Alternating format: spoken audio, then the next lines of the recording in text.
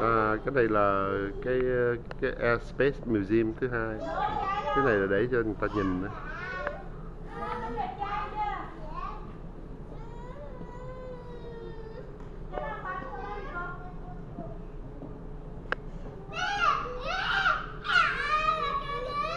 Cái gì?